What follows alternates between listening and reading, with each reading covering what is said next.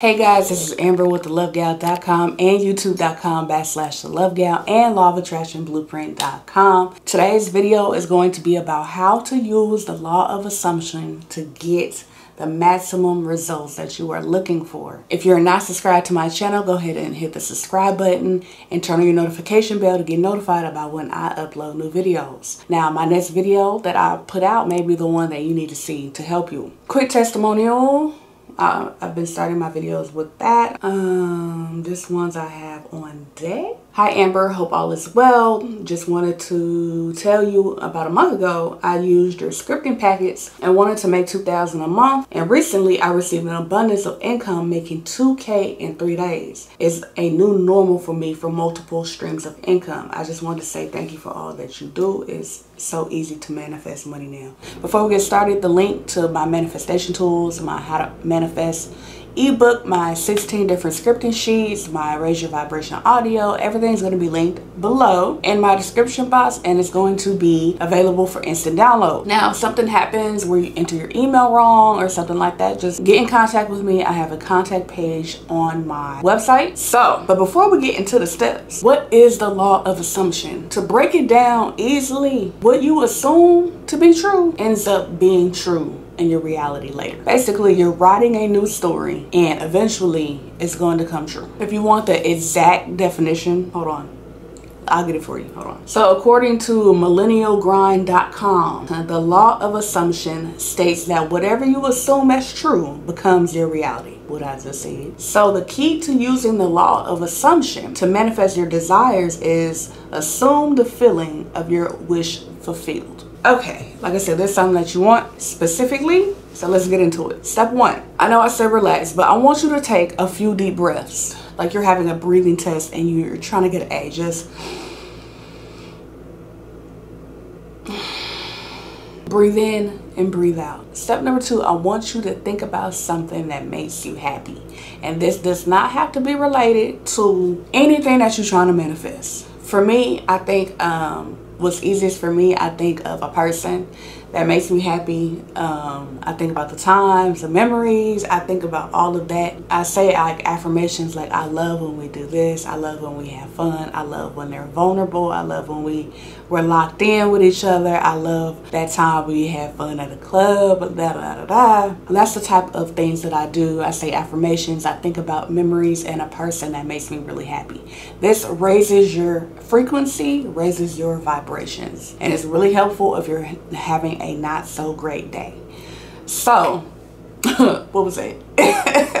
um, step number three, I want you to say or script your intention and what you want. So if you're saying things out loud, say it as if it already has happened. I am so happy that Jerry called me today. We had an amazing conversation. Or I am so happy that I get to pick up my new keys to my new car and I'm about to drive on the freeway and play my favorite music. I am so glad and I am excited that I got the keys to my new crib. I really passed my test with an A. I passed my test with an A. Or I really just got promoted. I got promoted at my new job. Say your intentions as if it already has happened. Because with the law of assumption, you're assuming things are going to be true, right? So, next, I want you to visualize it happening to you as if it already happened. Whatever it is that you want, keep going as if you already have it. Basically, I want you to create a commercial in your head. I want you to create a commercial in your head about receiving whatever it is that you want already. You already put your intentions out there, either you scripted it, scripted it.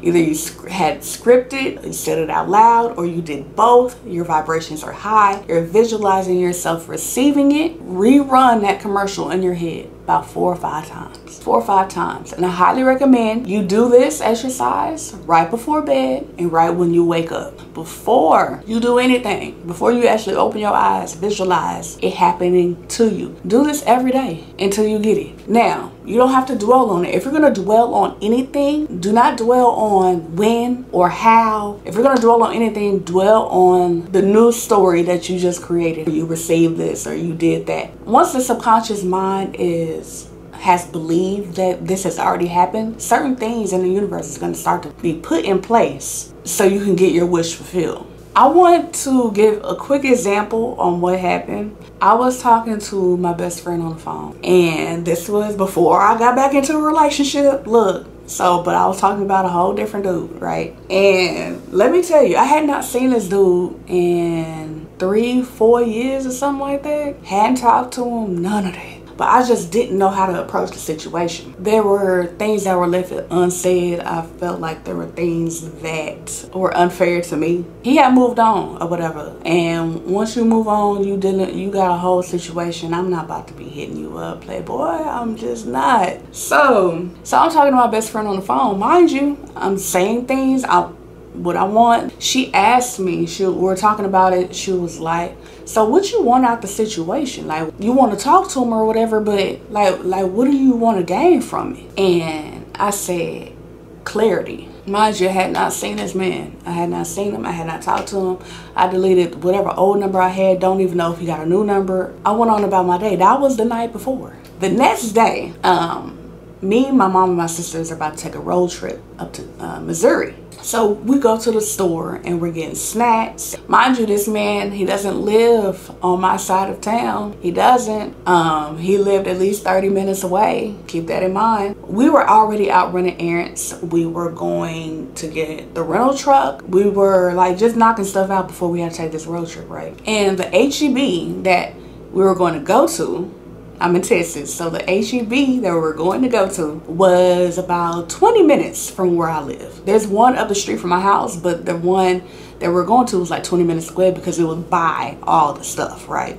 Uh, I remember being in the parking lot and I was like, Mama, um, maybe we should go get the truck and then go to HEB because like we running uh, late on time the rental place is about to close. So we might as well go get it and then go get go to HEB or whatever. We end up going to the store going to the store by my house. So we're in the store. We're going to get all the road trip snacks and stuff like that. Y'all already know what's about to happen. So we're in the store and we're going up the aisle, like the one of the main aisles. And my mama stopped and it was like, oh, I need to grab some lotion. I was like, okay, well, I'm gonna keep going to go get uh, some snacks or whatever. She said, okay. So I go get the snacks and she's still nowhere to be found. So I go back to the lotion aisle. I'm walking up the aisle or whatever and I look up. Why is he standing right next to my mama?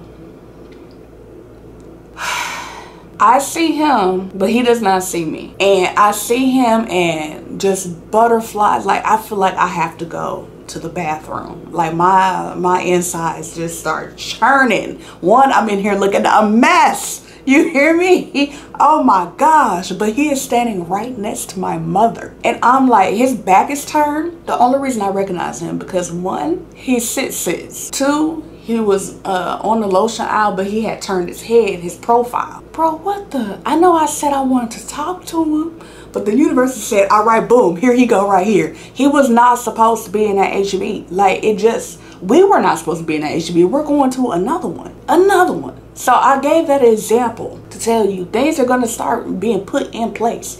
He was put there at that exact time, standing right next to my mother. We ended up at that HEB at the same exact moment. So whatever it is that you're asking for, be prepared because things are going to start shifting in your favor to get what you want. After I see him on the aisle, I, I wasn't ducking. I went behind him, but I'm trying to like kind of disguise myself because I don't want him to see me looking a mess after all these years.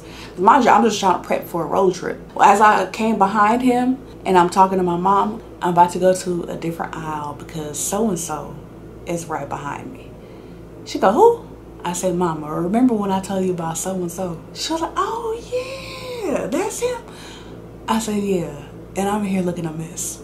She's like, okay. So I'll go to like the trash bag aisle. Later on, my mama was like, um, are you sure he didn't see you? I was like, I don't think so because I was behind him. And the way I was maneuvering my body, I don't know if he just recognized me from behind or whatever. But she was like, are you sure? Because he started acting real funny after you left.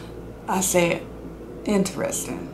I don't know. But I had to give that story because certain, like I said, things are going to be shifted in your favor. If you assume things and you want things and you put your intentions out there, things are going to start to happen. that encounter technically was not supposed to happen. I was not supposed to see him. He was not supposed to be at the HEB up, up the street from my house. None of that. After I remember after the conversation with my best friend, like I wasn't really thinking about it. Like I was like, I want clarity, da da da. We go on, we talking about something else. But as I'm on the trash bag aisle, I call her and I'm low key hyperventilating. I call her, I'm like, best friend. She's like, what's wrong? Like I was like, you remember we just talked about this, right? I was like, bro, he's in the store with me right now. Like, I'm breathing hella hard. Like, oh my goodness. Just be careful what you ask for and be prepared for it because it's coming. Your new story. Yeah, whatever you went through in the past, it does not matter. Whatever it is you're going through right now, it does not matter. Create a story that you want and it will be fulfilled. Eventually. I can't say oh, I was going to be fulfilled in like three minutes. I can't say that because it depends on what it is and all the different variables and how long your angels and ancestors and God and takes time to put the, the play together for you. I am Amber with thelovegal.com and youtube.com backslash lovegal. And I hope you subscribe to my channel. New videos are coming soon. All of my manifesting tools, scripting sheets, uh, how to manifest ebook, everything's going to be linked below. And until next time, I thank y'all. I love y'all. I hope you have the great rest of your day.